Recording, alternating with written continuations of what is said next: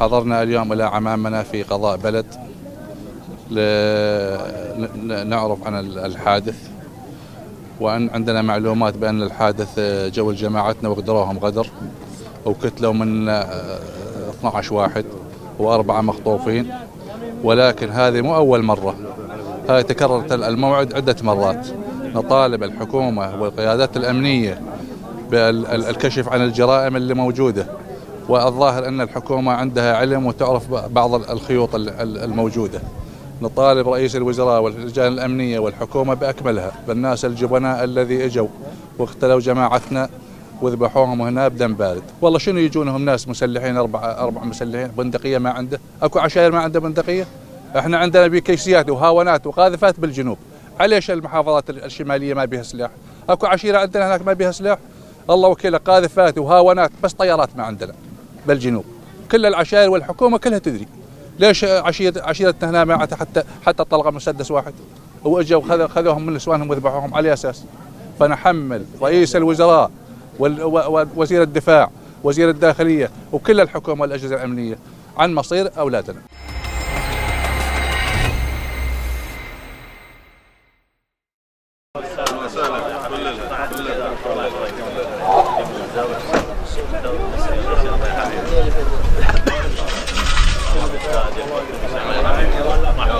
بسم الله الرحمن الرحيم ولا تحسبن الذين قتلوا في سبيل الله امواتا بل احياء عند ربهم يرزقون.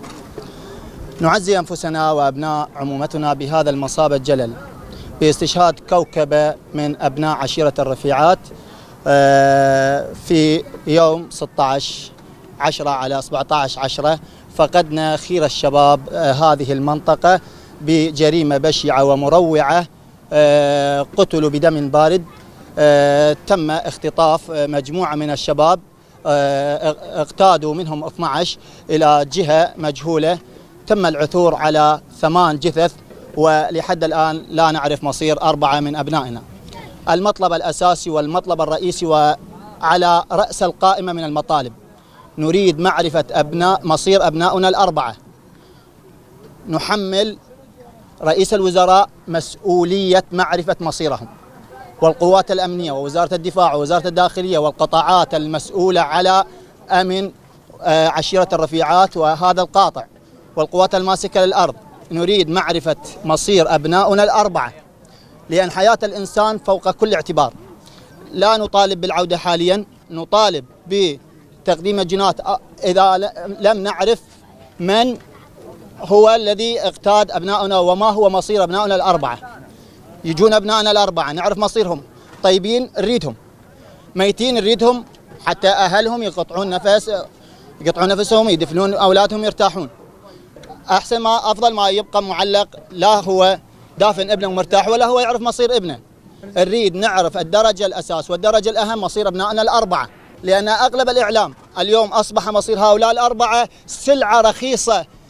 فلان من الناس ينشر. تم العثور على جثث المخطوفين الأربعة. وجدوا لا لم نجد الشهداء الأربعة المخطوفين الأربعة لحد الآن ولا نعرف مصيرهم أين أي جهة اقتادتهم. أما بملابسات الحادث عشيرة الرفيعات عشيرة كبيرة وواسعة عادت منها نسبة 20% و80% لا يزالوا نازحين. متوزعين في ديالى وفي اقليم كردستان وفي سامراء وفي بغداد. نحن من أقارب الشهداء ونريد معرفة من من اللجنة التي تكلفت بتقصي الحقائق. اللجنة عملها الأساس معرفة مصير أبنائنا. هذا مطلبنا الأساسي. السيناريو اللي صار أعتقد واضح آه ذوي الضحايا وضحوا للإعلام أكثر من مرة حسب ما يشاع وما آه روانا أهل الضحايا. أن جهة آه داهمت المنطقة في منتصف الليل بعد الواحدة بعد منتصف الليل واقتادت 12 من أبناء عمومتنا وتم العثور في الصباح على 12 جثة من الشهداء ولم نعرف مصير أربعة من أبنائنا لحد هذه اللحظة. هذه الخروقات تحدث بسبب عدم المركزية في اتخاذ القرار وعدم المركزية في مسك الأرض.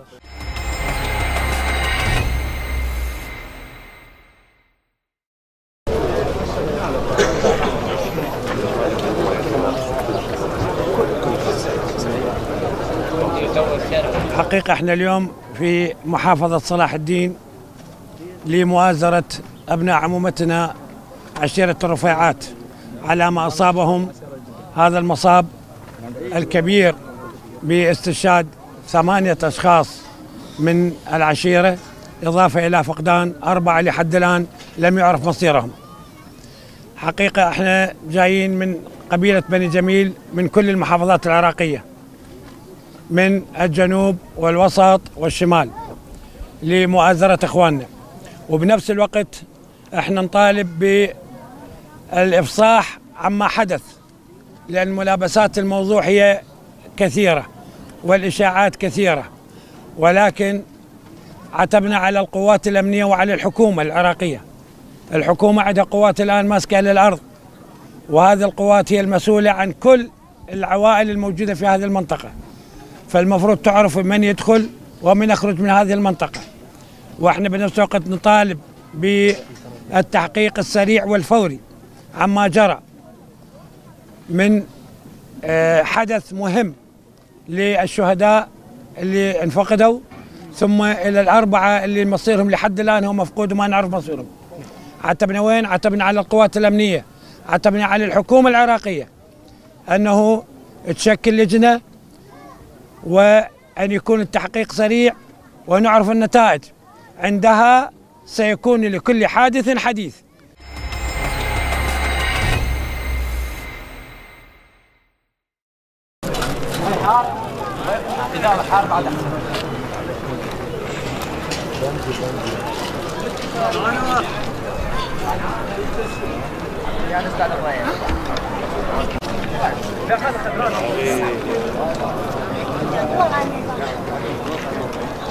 أول شيء آه، نشكر قناتكم الموقرة. والله يا أخي الفاجعة فاجعة العراقيين كلهم يعني بصورة عامة مو فاجعة إنه بلد أو محافظة أو قضاء. وهذا عمل إجرامي وعمل إرهابي ولا يجوز. ونطالب الحكومة ونطالب السيد الكاظمي أنه يتسرع بالإجراءات ويكشف عن الجنات. وهذه فاجعة فاجعة الشعب العراقي.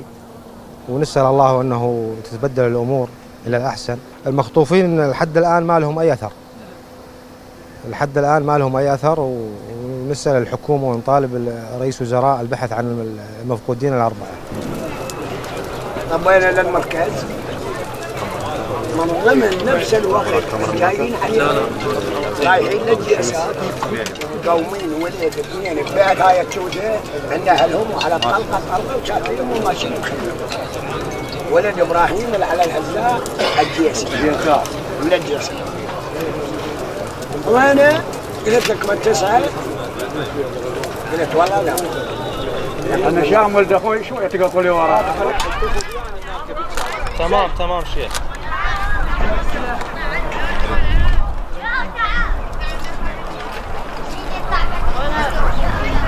بسم الله الرحمن الرحيم. أعزي نفسي أولا وأبناء عمومتي من قبيلة الرفيع على هذا العمل الإجرام الجبان الذي طال يد الغدر والخيانة على أبناء عمومتنا في صلاح الدين آه، منطقة الفرحاتية. ونرجو من رئيس دولة رئيس الوزراء أن يحقق الحقائق على مرتكبي هذه الجريمة البشعة. وإحنا جينا من محافظة بابل وعلى رأسها الشيخ عثمان محسن الفارس عن قبيلة الرفيع العام. وعن محافظة بابل الشيخ عزيز الرهق عن محافظة بابل والفرات الأوسط. كلش ألمونا وأهل أهل المغدورين يناشدون رئيس الوزراء وكل كل واحد شريف بالدولة يطلع لهم القاتل أبنائهم.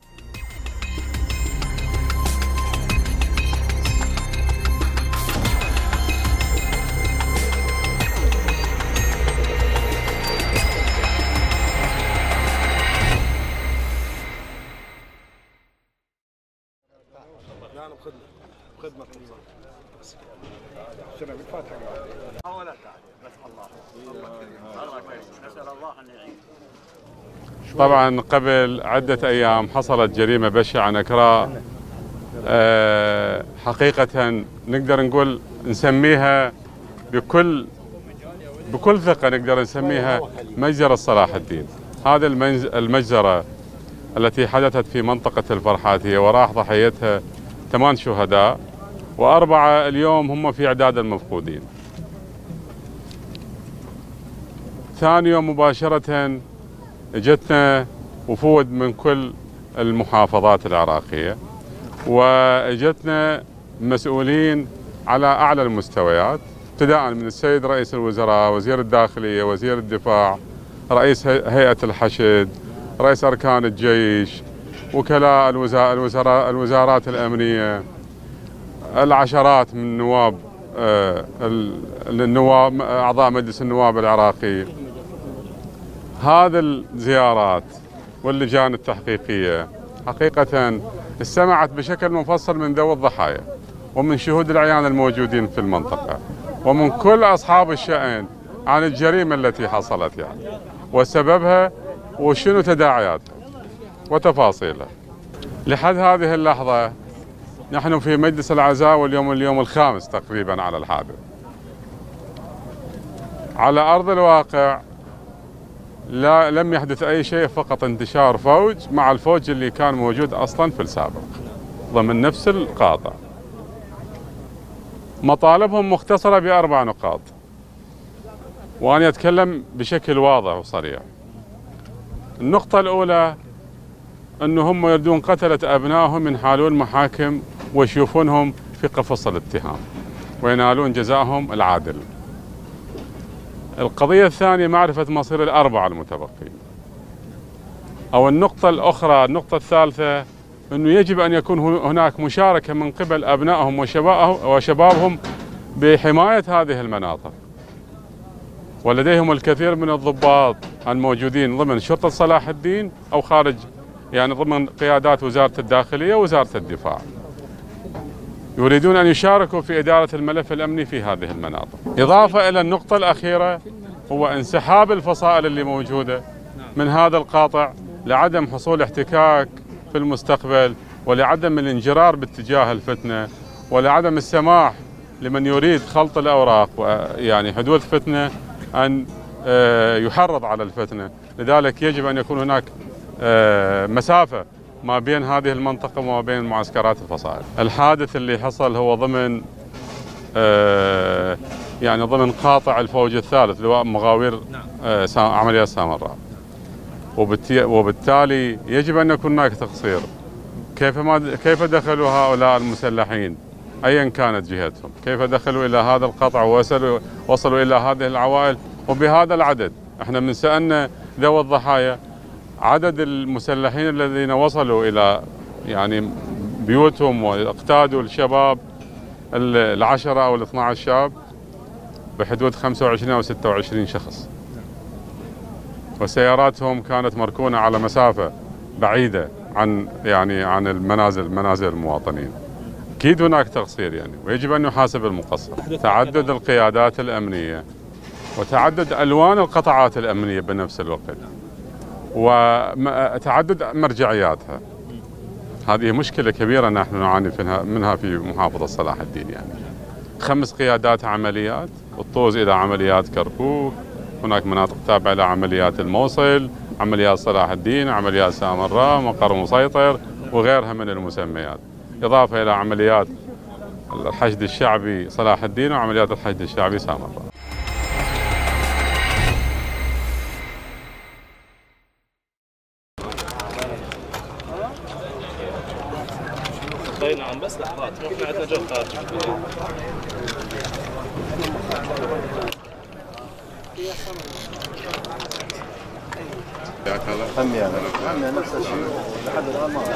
إحنا وصلت فكرتنا للدولة وصلت فكرتنا لل للجميع إنه إحنا نريد القصاص من المجموعة الإرهابية اللي ارتكبت هذا العمل الجبان.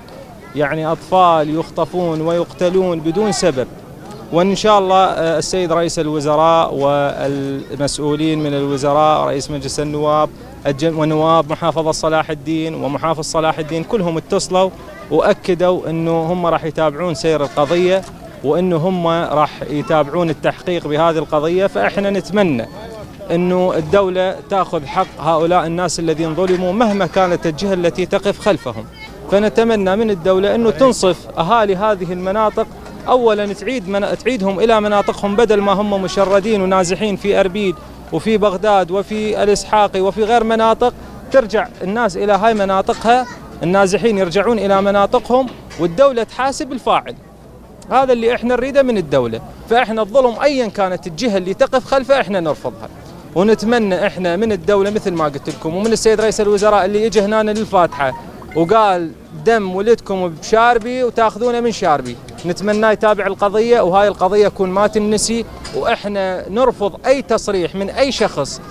اختطفوا اختطفوا داهموا بيوت ال- المفقودين الشهداء وأخذوهم اختطفوهم إحدى الجهات اختطفتهم وبعدها آه ثاني يوم الصبح لقوهم مقتولين.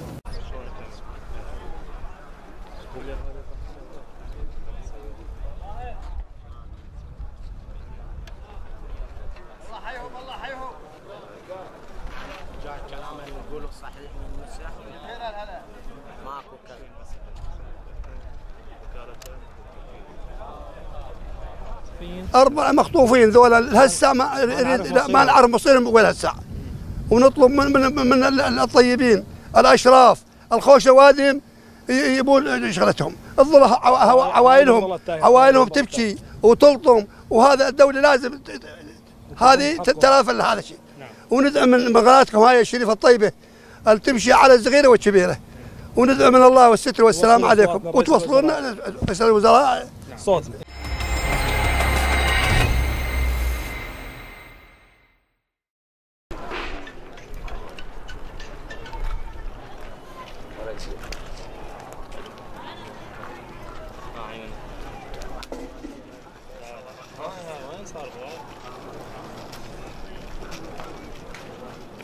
أنا من أهالي منطقة الرفيعات الفرحاتية في قضاء بلد أطالب بالأربعة المفقودين ميتين أو طيبين.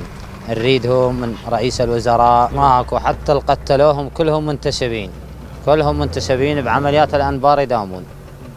بس شايب واحد وخطار من الرمادي قتلوه ذولا مو منتسبين حتى اللي خطفوهم منتسبين